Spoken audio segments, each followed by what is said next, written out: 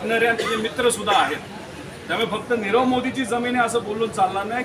त्याच्या मित्राच्या आणि त्याची मिळून एक कंपनी आहे. त्या कंपनीची सुद्धा जमीन आहे.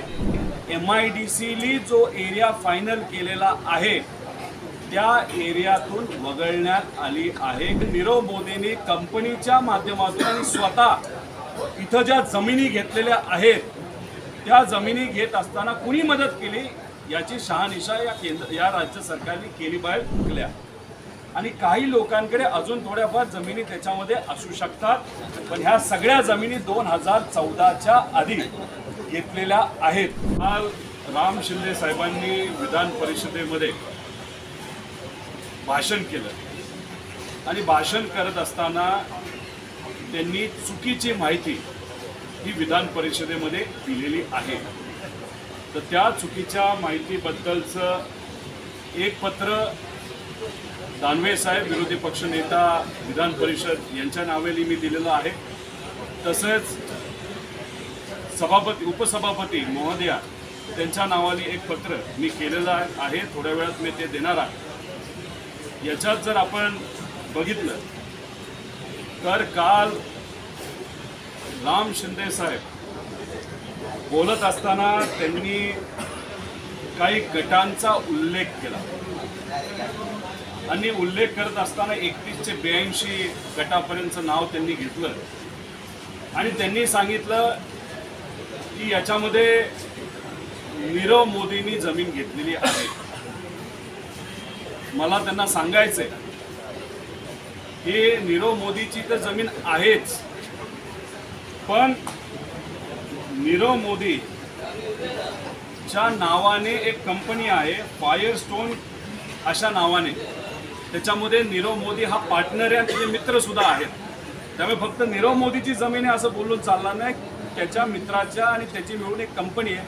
त्या कंपनीची सुद्धा जमीन आहे. आणि ती त्र्याऐंशी एकर आहे. पण ही त्र्याऐंशी एकर जमीन ही एम आय डी सीली जो एरिया फायनल केलेला आहे त्या एरियातून वगळण्यात आली आहे. कारण का ही जमीन ईडीकडे आहे ईडीकडे. ही केंद्र सरकारने स्वतःकडे ताब्यात घेतलेली आहे. आता नीरव मोदीचं नाव राम शिंदे साहेबांनी काढलेलंच आहे. तर ही जमीन कधी घेतली?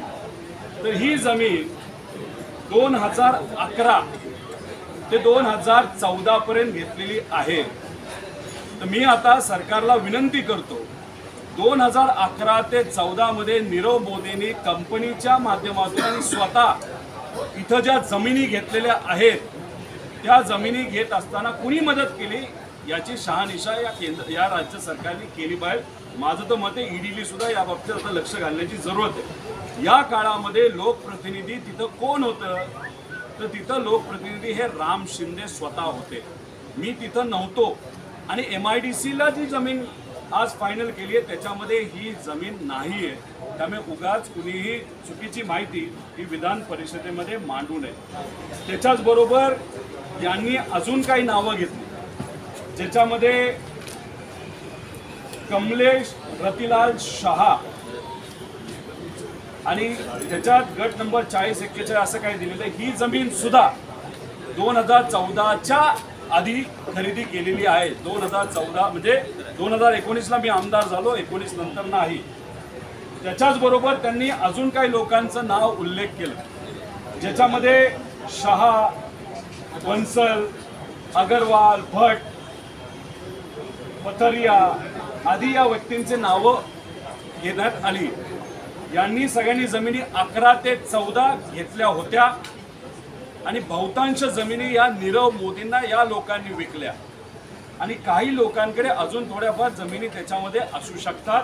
पण ह्या सगळ्या जमिनी दोन हजार चौदाच्या आधी घेतलेल्या आहेत. त्याच्याच बरोबर काल आपण जर बघितलं तर मी त्या महिलेचं नाव घेणार नाही. पण त्यांनी एका महिलेचं नाव याच्यामध्ये घेतलं. आणि ती अतिशय चुकीची गोष्ट आहे. कारण का या जमिनीमध्ये एम आय डी सीच्या बाबतीत सुद्धा असेल नाही तर नीरव मोदीच्या बाबतीत सुद्धा. या महिलेचं कुठंही घेणं देणं नाही. ज्या महिलेचं नाव त्यांनी घेतलं त्या महिलेच्या नावावर पूर्वी जमीन नव्हती. दुर्दैवाने त्यांच्या आई जेव्हा वारल्या त्या महिलेच्या तर वारसा नोंदीने ती जमीन या महिलेच्या नावाने दोन हजार सतराला झाली. मग तुम्ही भाषण करत असताना रोहित पवारला अडचणीत आणत असताना अशा पद्धतीने ज्या महिलेचं कुठेही संबंध या गोष्टीला नाही तुम्ही ते पब्लिश करता मतदारसंघात पाठवता. मग कुठं ना कुठंतरी या महिलेचं नाव लोकात गेल्यामुळे या बिचाऱ्या महिलेचं नाव संबंध कुठेही नसताना सुद्धा त्यांचं नाव तुम्ही कुठंतरी मलिन करण्याचा प्रयत्न करत आहे आणि याचा निषेध मी त्या ठिकाणी करतो. त्यामुळे राम शिंदे साहेबांनी कितीही गळा कोरडा होऊस तर कितीही सांगितलं तरी लोकांना माहिती आहे या एम आय डी सीसाठी त्यांनी कुठेही प्रयत्न केले नाहीत. हे जे सगळे डॉक्युमेंट आहेत हे मी केलेला पाठपुरावा या एम आय डी सीबद्दलचं याचं डॉक्युमेंट आहे. ते मी मीडियाला सुद्धा देईल मंत्री महोदयांना सुद्धा दिलेलं आहे. त्यामुळे मी मंत्री महोदयाची विनंती करतो हे नीरव मोदी हा जो विषय आहे त्याच्यात ईडीने लक्ष घातलंय तुम्ही लक्ष घालायची जरूरत नाही. आणि एम आय डी सीची जमीन जी आता सर्वे झालेली आहे त्याच्यात फॉरेस्टची जमीन नाही नीरव मोदीची जमीन नाही त्यामुळे उगाच कुणीतरी खोटी माहिती आपल्याला दिली. म्हणून तुम्ही अधिग्रहण जमिनी अधिग्रहण करण्याचा एम आय डी सीचा जो काही मुद्दा आहे तो अजून लांबणीवर टाकू नये. कारण का एकदा सहा चॅप्टर सहाचं तिथं नोटीस निघाल्यानंतर त्या पुढे काही प्रक्रिया असतील. माझ्या मतदारसंघामध्ये युवांसाठी तिथं कंपन्या येणं महत्त्वाचं आहे. त्यामुळे कितीही माझ्या विरोधकांनी प्रयत्न केला तरी शहानिशा तुम्ही करावी. तुम्ही स्वतः याच्यामध्ये विविध पद्धतीने कारवाई करायची का करा पण उगाच अधिसूचना काढण्यासाठी अजून वेळ तुम्ही घेऊ नका. आदरणीय स्पीकर साहेबांनी आज बैठक ही लावलेली आहे. मी अपेक्षा करतो की तीन दिवसापूर्वी ते एका बैठकीला येऊ शकले नाही. आज ते येतील. स्पीकर साहेबांचा मान ते राखतील. मतदारसंघातल्या युवांचा मान ते राखतील.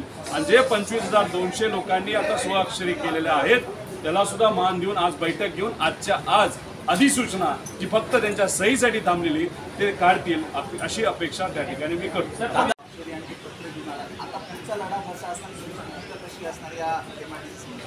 याच्यामध्ये दोन विषय आहेत. जेव्हा दोन तीन दिवसापूर्वी छत्रपती शिवाजी महाराजांच्या चरणी बसून मी माझ्या मतदारसंघातल्या युवा वर्गासाठी आंदोलन करत होतो कर्जत आणि जामखेडचे सर्व युवा एकत्रित येऊन त्यांनी काल माझ्या मतदारसंघामध्ये आंदोलन केलं. ते करत असताना त्यांनी स्वाक्षरी मोहीमसुद्धा दिवसभर चालू ठेवली होती. आणि आज आदरणीय उदय सामंत साहेबांना मी पंचवीस हजार दोनशे युवांनी जी स्वाक्षऱ्या केलेल्या आहेत एका दिवसात असं एक पत्र आदरणीय उदय सामंत साहेबांना आज मी देणार आहे. आणि माझ्या मतदारसंघातल्या युवा वर्गाच्या भावना हा त्यांच्या सहीने मंत्री महोदयांपर्यंत मी पोचवेल. तसंच एका दिवसाच्या सह्या आहेत. अजून ती मोहीम चालू आहे. नक्कीच एक लाखापेक्षा जास्त सह्या येत्या काळामध्ये झालेल्या आपण सर्वांना बघायला मिळेल. काल आदरणीय स्पीकर महोदयांना मी भेटलो. नार्वेकर साहेबांना त्यांना विनंती केली की दोनदा अधिवेशनामध्ये आश्वासन देऊन सुद्धा याच्यावर कुठलीही अधिसूचनेवर कारवाई झालेली नाही. त्यांना काल भेटल्यानंतर त्यांच्याकडनं एक पत्र आदरणीय उदय सामंत साहेबांनी साहेबांना दिलेलं आहे की आज तीन साडेतीन वाजता बैठक या बाबतीतची स्पीकर महोदयांच्या उपस्थितीमध्ये इंडस्ट्री मिनिस्टर यांच्या उपस्थितीमध्ये आज तिथं होणार आहे. त्यामुळे आज त्या बैठकीमध्ये काय होते हे आपण बघू.